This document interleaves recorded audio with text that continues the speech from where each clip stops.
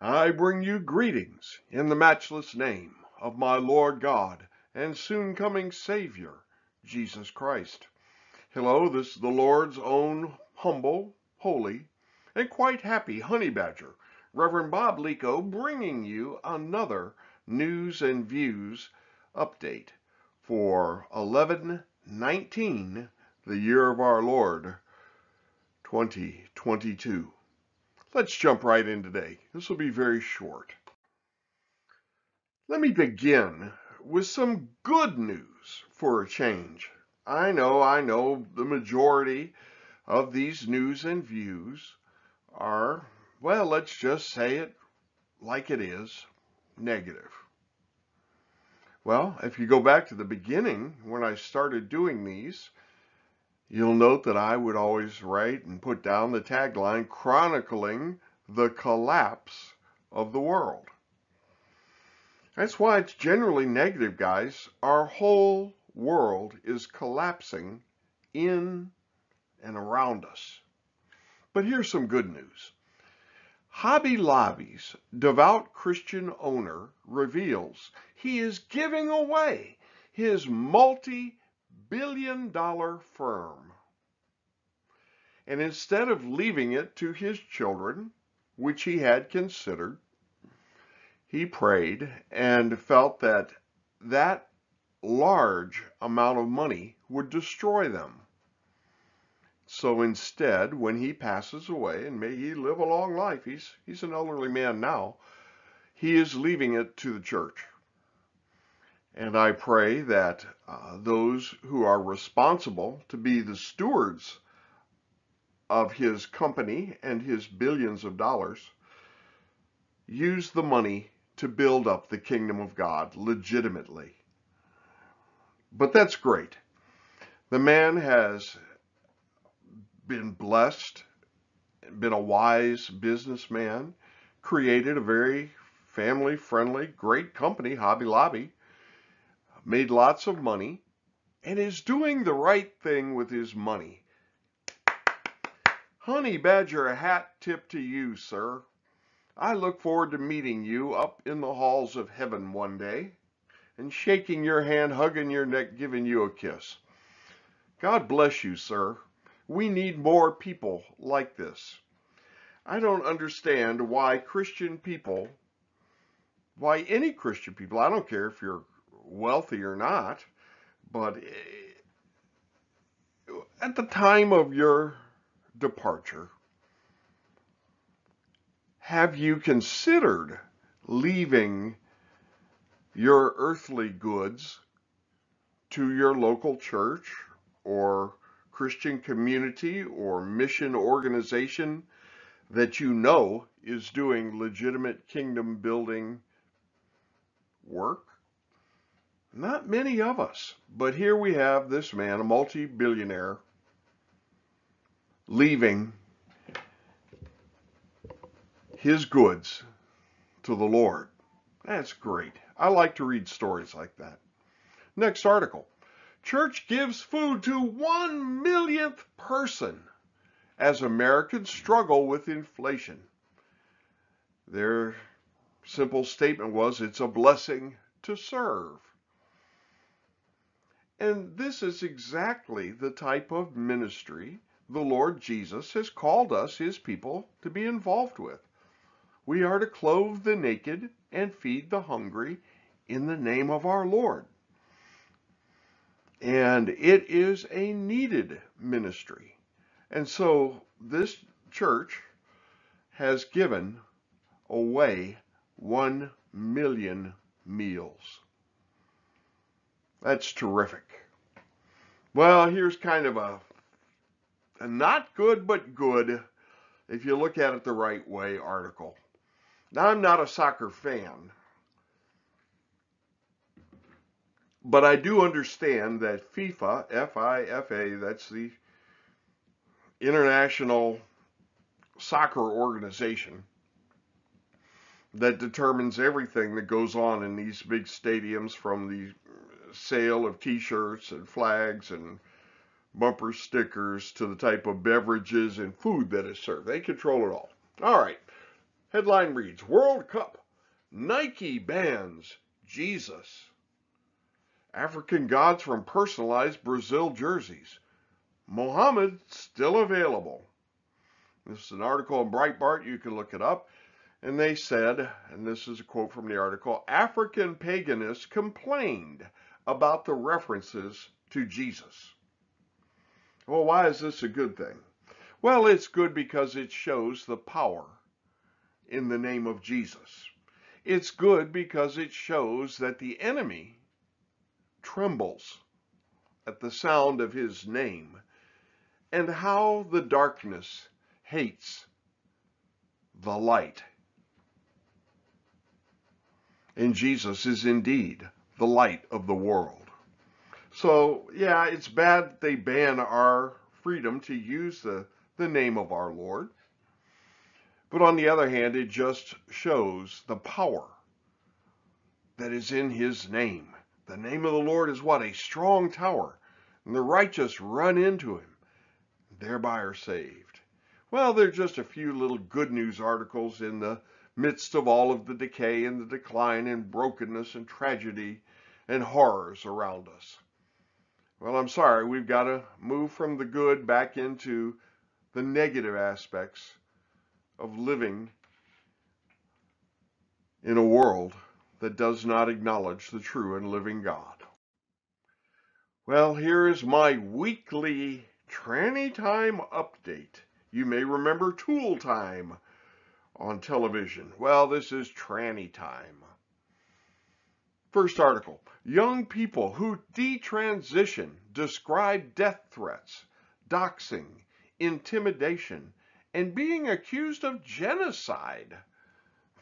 From the cult like transgender community, they turn their backs on. Now, these are the victims of transsexual mutilation. As I've already covered, and you can read the articles, they just go back uh, two or three weekly updates. I cover this every week, it seems. Uh, we have learned that over half of the young people that are mutilated consider suicide, have mental problems, substance abuse problems, and generally are ignored and shunned by society. Well, those who turn their back on that horrible mutilation and deception and say, whoa, wait a second, we made a huge mistake, shouldn't have done this, uh, and try to expose and shine some light upon the great darkness in this cult like death community called transgenderism.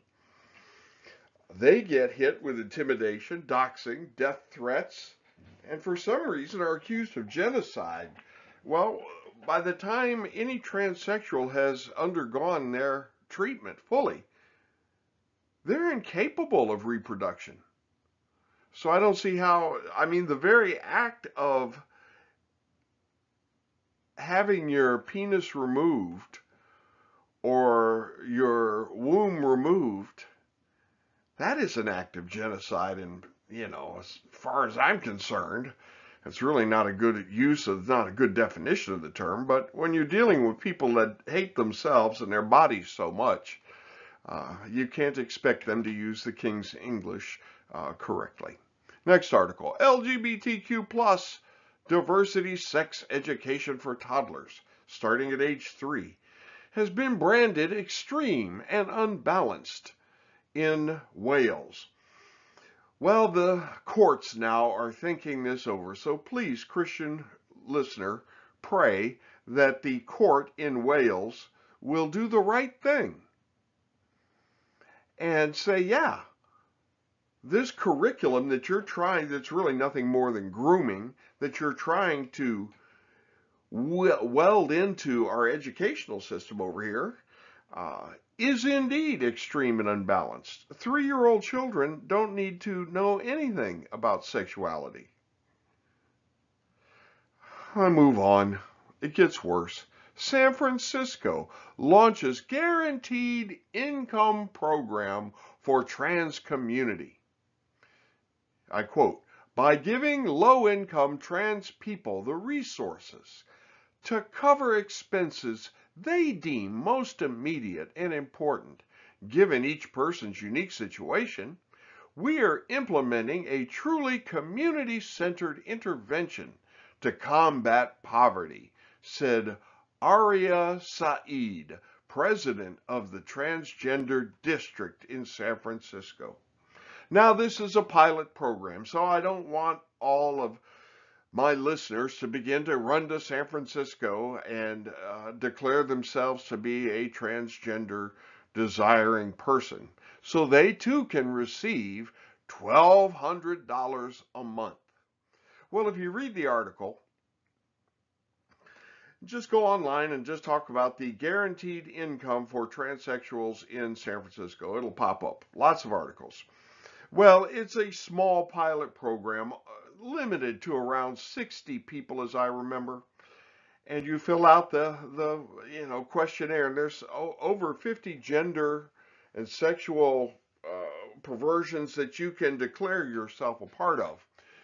Uh, and try to win this lottery of getting being one of the lucky trannies who gets $1,200 a month to cover expenses that they deem immediate and important. In other words, going to the club, buying weed and mushrooms and uh, locker room inhalants and whatever else, condoms, I guess, and fleet enemas uh, that are so needed by the uh, sodomites and transgender community.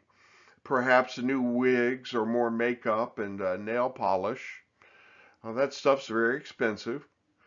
And of course, it's up to the community, the state of California, to guarantee these poor perverts $1,200 a month. Now, notice this is not $1,200 a month guaranteed income for, say, retired teachers who are on hard times, who have fallen on hard times or whatever. I mean, what about all of the hard working men and women that went in the military, got out of the military with PTSD, and now stand on the street corners of every city in America asking for money, food, a place to live, clothing?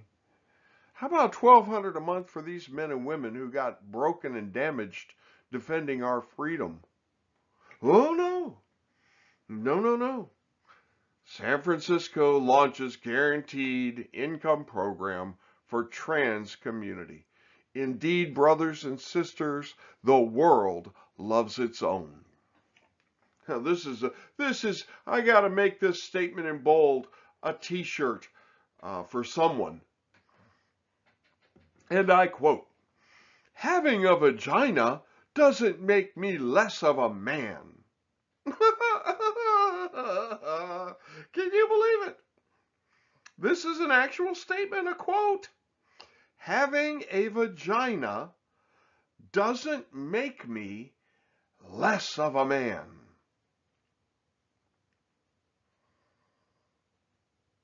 I'll just let that hang out there in space and continue the headline.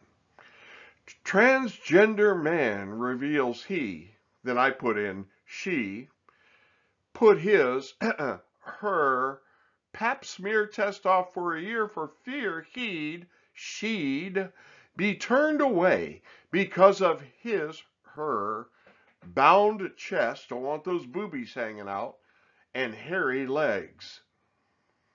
Well, the article did go on to say they finally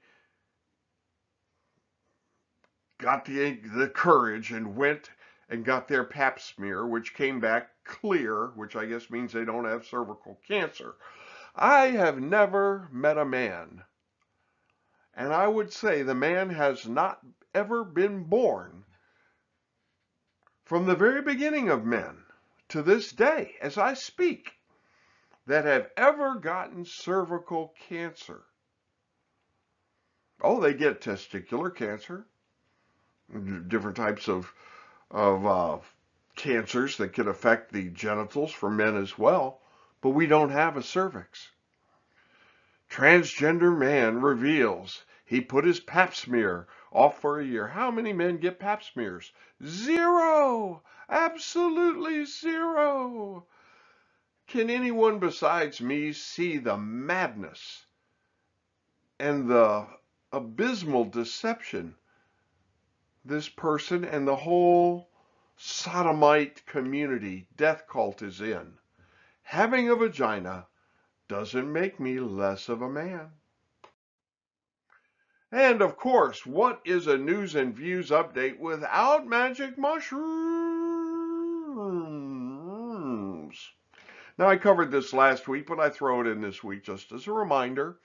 National Institutes of Health to trial whether magic mushrooms can help smokers quit in first federal study of psychedelics in 50 years? The answer will be yes, they can.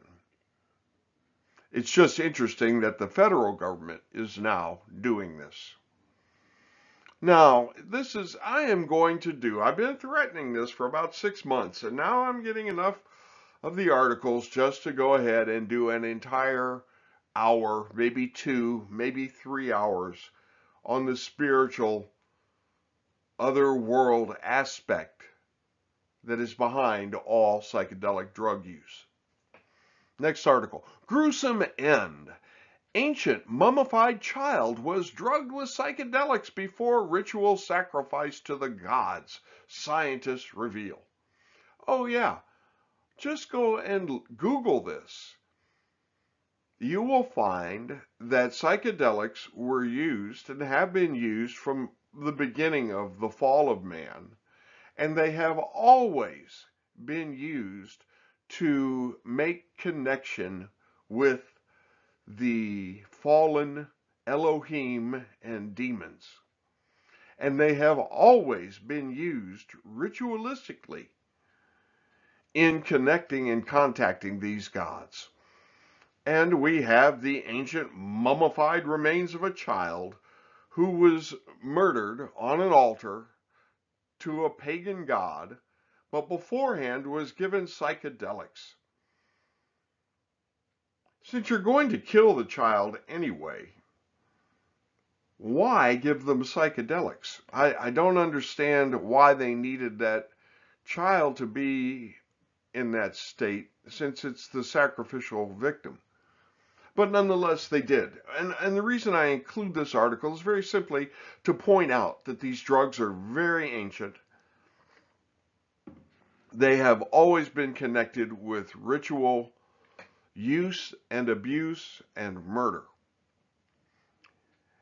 The next article is one such drug, ayahuasca, the psychedelic brew blamed for Packers quarterback Aaron Rodgers' poor performances causes mental health problems that last months in majority of users. Landmark study finds. This is from the Daily Mail. Now, if you've been following any of my broadcasts, and I've got other presentations on the Honey Badger Bob YouTube channel dealing specifically with psychedelic drugs, then you would know that ayahuasca is basically a DMT brew comes from a couple of plants that they have been using in the Amazon and Peru and back back there down in South America for a long time. The shamans have always you know, traced their roots back to, to the use of this drug there. It goes way back, bottom line it was not popular amongst people. It was, it's a serious drug. You vomit, you have uncontrollable vomiting, diarrhea, physical pains in your body. It's not a pleasant, hippy dippy trippy, you know, put a, uh, a piece of blotter acid on your tongue and, and go sit back with your headphones on and have a great time. No, this is a very intense body type experience. From everything I've read, I have never drunk ayahuasca and I never will. I have done DMT. a lot of other ways to do DMT besides drinking it. But the interesting thing here is that it does cause mental health problems that last for months in the majority of the users. Now, the shamans, on the other hand, will say, oh no, it's just all part of the process. All of this physical stuff people go through, it's, it's part of the journey. Actually, no, it's your body trying to get rid of poison, vomiting and uncontrollable diarrhea, all of these sort of things are the body's reaction to rid itself of something that is harming, possibly killing it. It's not part of the drug experience and the learning. You know, you're just being emptied out and hollowed out by, by this purging, and it's just such a, a thing to be embraced. No, it's your body reacting to being poisoned, quite frankly. Uh, so it causes mental health problems that last for months in the majority of users. Well, you see, this landmark study I question a little bit because we had we haven't been researching ayahuasca formally at all. To my knowledge, it's been 50 years and now NIH is just looking into magic mushrooms, which are well documented and well known. Ayahuasca, not so much. So I don't know about their landmark study. It was, you know, that's just based on the anecdotal comments of people, subjective anecdotal comments of people who've taken the drug. But what they do find is that they have mental health problems that last for a month that dog these people. It's not like a, oh yeah, I took that on uh, Friday and here it is Monday. I'm ready to go back to work. No problems. Everything's just normal. Just kind of took a few hours off there, so to speak. No. I'll, I'll get into it when I deal with it.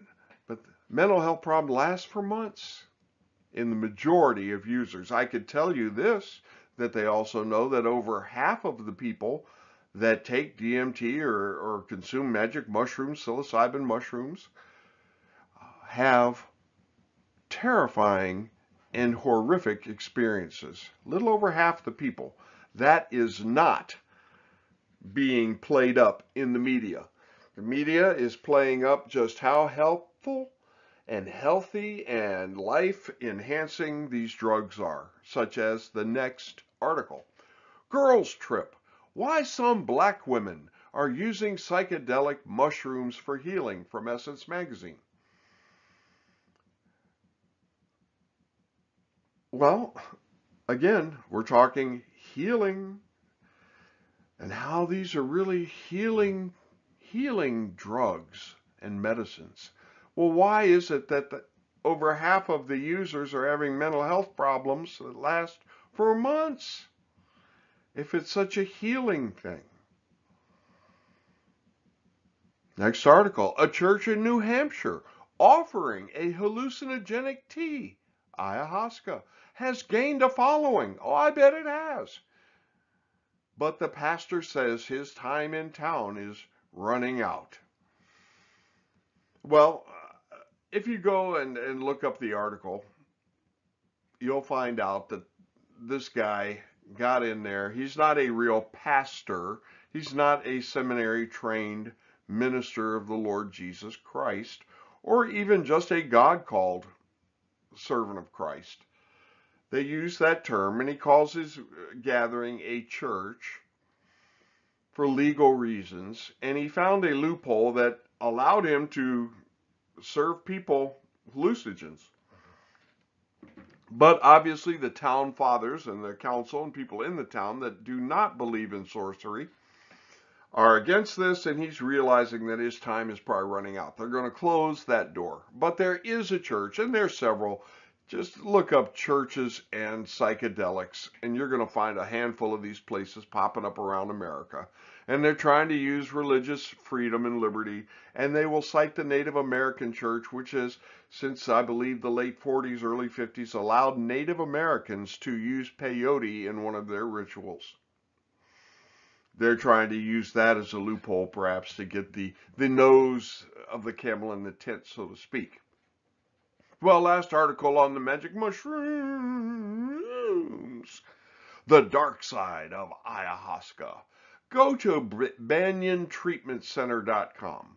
Although they, they certainly support the use of psychedelics, but it's interesting when you read down through there, they are at least honest enough to list the long term negative effects that people can have from taking ayahuasca. And it deals with anxiety, sleeplessness. Just uh, they listed a whole, I don't know, uh, maybe 10 things. And this can last for months. Is that really worth it? I've never had an encounter with my Lord that was negative. Oh, it may have impacted my flesh or hurt my feelings personally because I was wrong or something. But it is never led to mental health problems that lasted for months in the majority of users. Wow. So yeah, please do read the dark side of ayahuasca. And there are many, many negative reports coming out remember, people, this is something that shamans alone used to use. And occasionally they would allow another person that they would train up to be the replacement shaman when they died. Now they've realized that this can bring in money, which they desperately need in these little Amazonian communities that have nothing. Oh, rich Westerners will fly out here.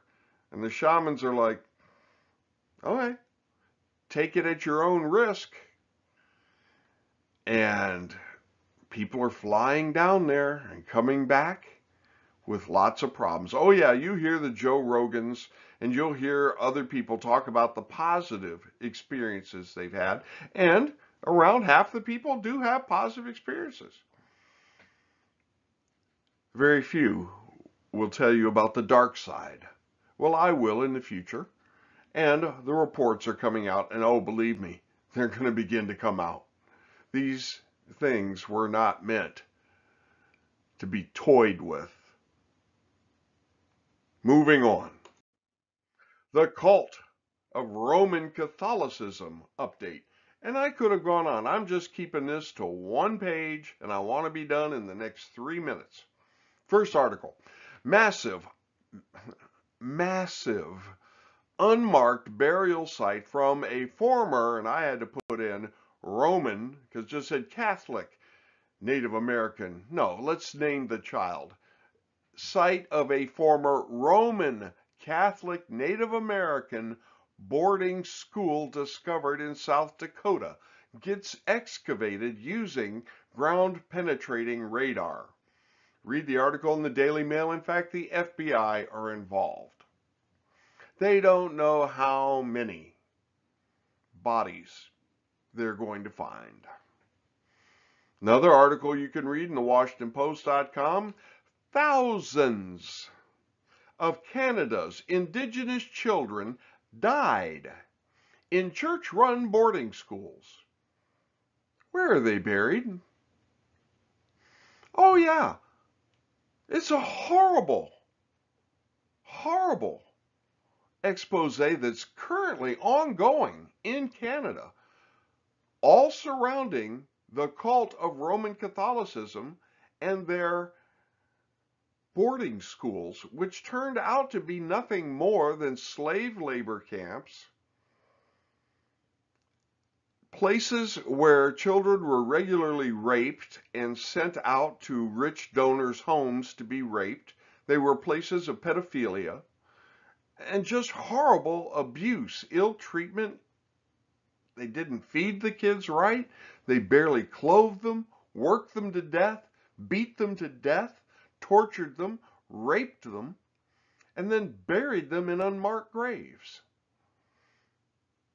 Well, there's nothing hidden that will not be revealed. Next article.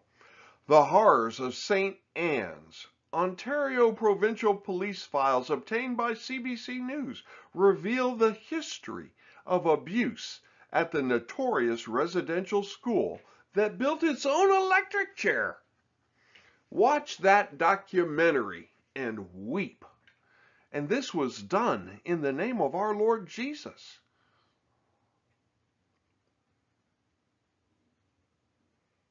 Next headline. Oldest Catholic boarding school in Australia at center of child sex claims. Another article on the same topic. Child sexual abuse in Catholic Church in Australia. And it wasn't just at the oldest boarding school, it's endemic. It's in all of them. We got South Dakota, we got Canada, we got Australia. Next one, report identifies abuses of Native American children in United States boarding schools, some run by Roman Catholics. Oh yeah, most of them. Last but not least, Maryland probe finds 158 abusive priests and over 600 victims.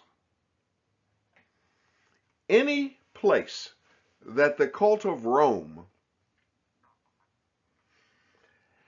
has planted its flag solidly in the ground and either built cathedrals and then these nice religious schools, all of them have very dark histories, as we well know and has been well documented by many, many people, not just the honey badger, but movies and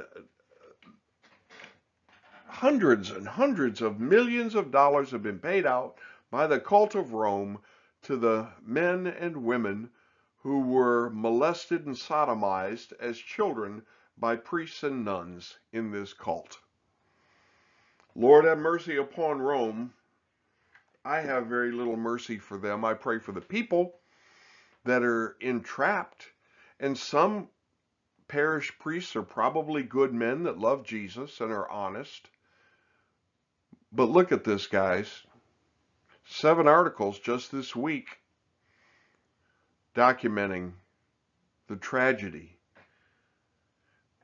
that occurs on a regular basis in this cult. Well, have a happy Saturday. I'm looking forward to tomorrow so much I can't wait to go to church and worship the Lord and be with his people and get a breath of fresh air for the week to come. Amen and amen. Thank you for listening.